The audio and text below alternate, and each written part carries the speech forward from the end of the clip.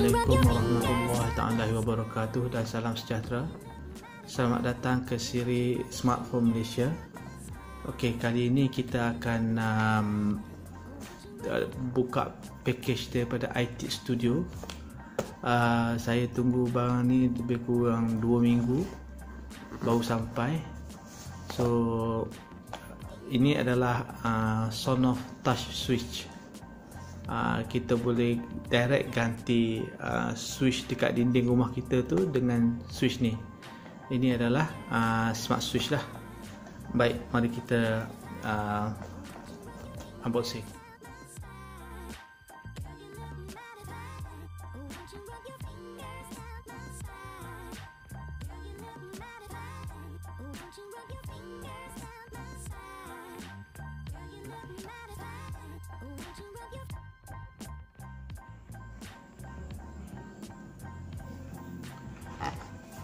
Baik inilah dia Sonoff T1 UK Wi-Fi and RF wall touch switch.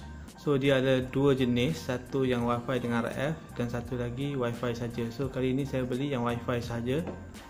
Uh, dan uh, seperti Sonoff uh, S20 UK plug uh, seperti siri pertama kita yang ini juga boleh support Google Assistant dengan Amazon Alexa. So kita dah ada Google, Google Assistant kat rumah eh. uh, Baik. Um, 90 to 250 volt Okay. 2A gang. Wi-Fi. Permukaan dia glass. Saya rasa size ni insyaAllah sama dengan uh, faceplate kita Switch rumah kita. Uh, baik made in China. Kita boleh dengan e-wheeling ni kita boleh remote daripada handphone. Itu yang pertama sekali. Uh, kita boleh schedule time bila nak on off. Uh, kalau tak dalam bilik kita boleh on kan waktu pagi. Time waktu kita nak bangun subuh tu. Ataupun uh, kalau kita tinggalkan rumah kita boleh on dan off. Ikut timing yang kita tetapkan uh, kita boleh share control dengan orang isi rumah dalam rumah kita. Dan kita boleh buat smart scene. Smart scene ni uh, contohnya kita ada beberapa siri uh, smart switch dalam rumah. Uh, dia boleh berinteraksi dalam apa antara switch tu dan dia boleh uh, on atau off switch. So mari kita tengok dalam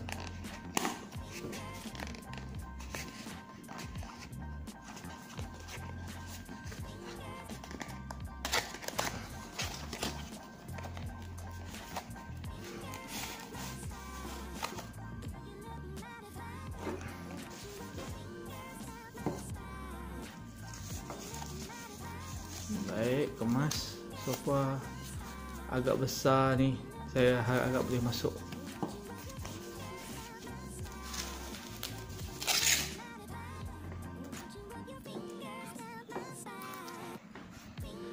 Baik dia ada in neutral in out. Live uh, out live out 2 live out 3 okay So ni ada dua gang je basically kita ada ah si live 3 tak adalah 1 and dengan 2 je. Baik. So depan ni adalah kaca. Uh, kita boleh touch on, touch off.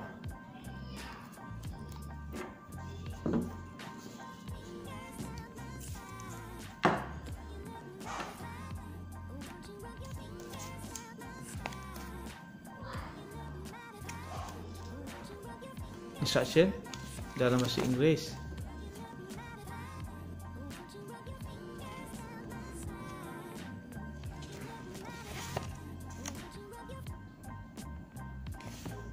Baik, um, saya nak nak beritahu kalau kita beli ni berhati-hatilah kalau nak buat pasang DIY sendiri so uh, pastikan kita ada sedikit pengetahuan uh, teknikal mengenai elektrik ataupun tak susah tapi pastikan kita tahu sebab kita berhadapan dengan live wire.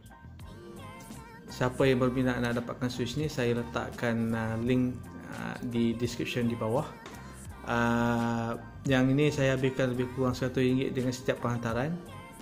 Uh, bolehlah um, kalau seperti saya cakap dulu kalau dulu-dulu switch ni boleh makan ribu juga tapi sekarang ni harga dalam RM100 dan 2 gang maksudnya satu switch RM50 uh, boleh. Kita kita tengok macam mana dia berfungsi. Nanti saya akan tu, uh, go through dengan pemasangan. Lepas tu kita akan set up. Dan lepas tu saya akan review sedikit. Baik saya nak terangkan sikit pasal uh, Sonoff Touch Switch ataupun uh, Smart Switch secara generalnya. Sebabnya Smart Switch ni dia memerlukan uh, complete circuit dia sendiri. Maksudnya dia perlukan power sendiri untuk on dan off uh, target itu ataupun dalam case kali ini lampu. Jadi ini contoh circuit biasa ataupun uh, switch biasa. Kita ada switch kita ada um, uh, lampu So power datang daripada uh, MCB ataupun uh, miniature circuit breaker kalau tak silap saya. So daripada MCB ni dia akan keluar tiga wire sebenarnya. Tapi uh, wire eh, saya tak tunjuk. Saya tunjuk wire neutral dengan wire live saja kat sini. Um, mana-mana saya bukan electrician uh, electrician tapi tapi mana-mana sesiapa yang lihat ni ada electrician boleh buat komen sama ada saya betul atau bila saya ataupun bila saya silap lah eh baik. Uh, so MCB keluar neutral uh, direct ke lampu. So bila kita tengok daripada uh, di belakang plate switch kita kita cuma nampak uh, wire live masuk dan wire load keluar. So itu saja wire neutral tak ada. So bila switch ni ditutup ataupun circuit tu complete lampu tu akan menyala. Ok kalau kita tengok kepada smart switch seperti yang saya cakapkan tadi smart switch dia perlukan satu complete circuit dia sendiri. Sebab dia memerlukan uh, sebab dia perlu uh, berinteraksi dengan sumber luar. Dalam kes ini dia tu ada uh, wifi dia ber, kena berinteraksi dengan dengan internet. Jadi dia memang perlukan power. So kita kena pastikan bila nak pasang uh, smart switch pastikan kita boleh dapat uh, belakang uh, uh, wire uh, kita punya belakang plate tu memang ada switch uh, apa line neutral ya yeah. so dia membentuk satu complete circuit dan uh, bila di diberi arahan dia akan tutup switch ni supaya lampu ni juga akan menyala baik yang ke belakang ni adalah proposal ataupun uh, planning pada masa depan ataupun siapa yang nak buat uh, rewiring ke.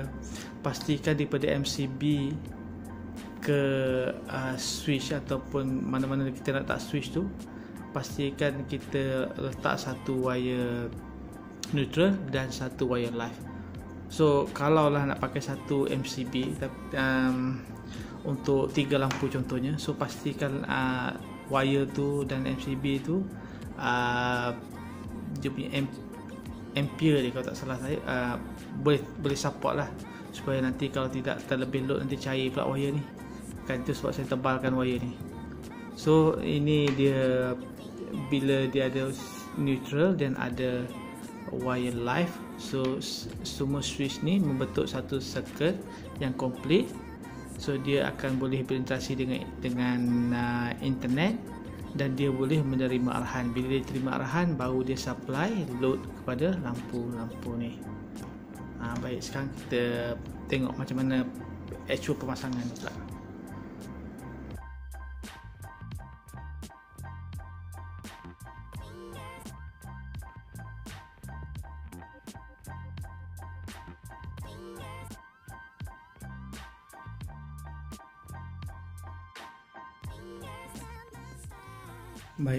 ini adalah uh, wire neutral. Ini live.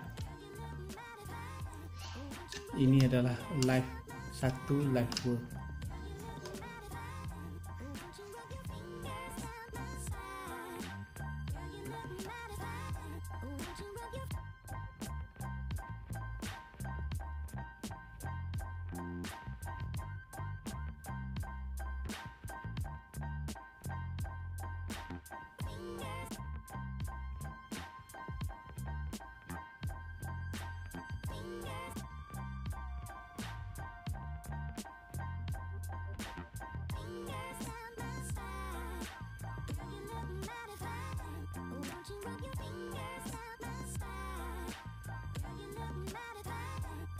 You. your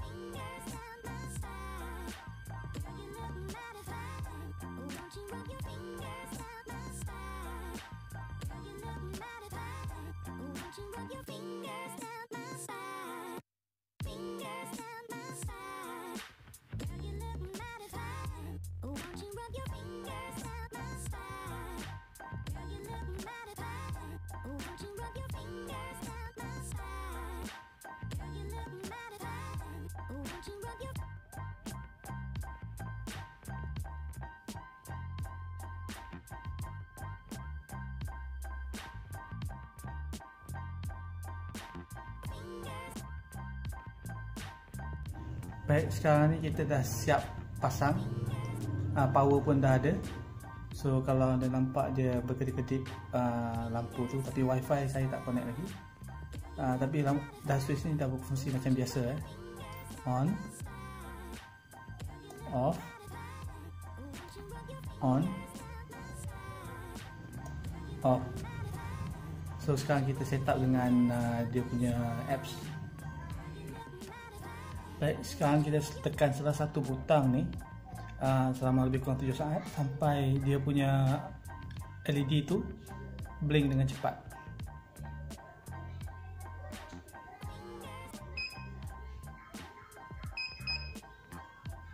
Ok dia dah bersedia untuk connect dengan apps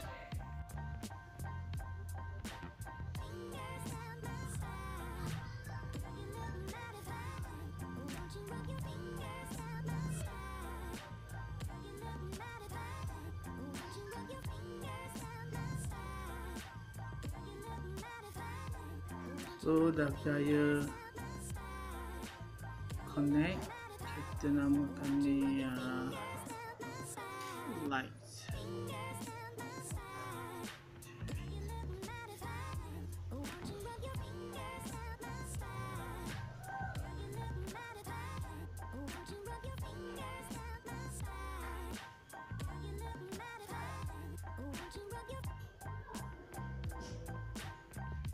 so the light is on now.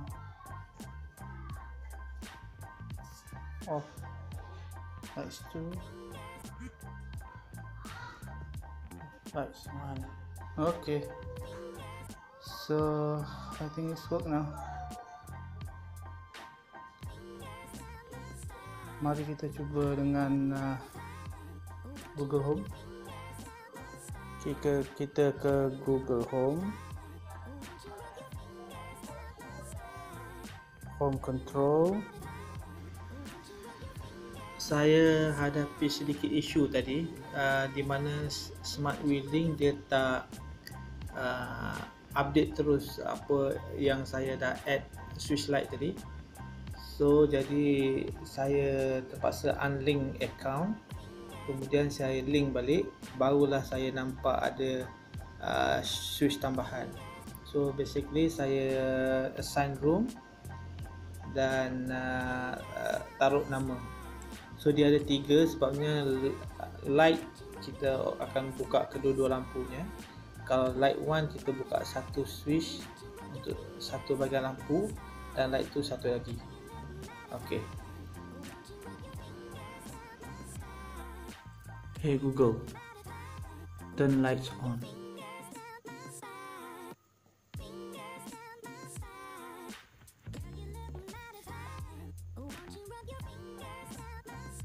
I'm sorry, there was an error and I'm unable to control your home device. Hey Google, turn lights one off.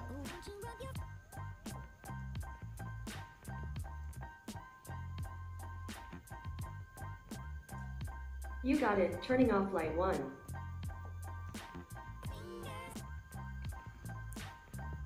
Hey Google, turn light 2 off. You got it, turning off light 2. Okay, seperti yang ada dapat lihat, saya tak ada masalah nak on atau off lampu secara remote ataupun menggunakan suara. Tetapi saya tak dapat feedback yang yang yang yang baik daripada uh, switch tu.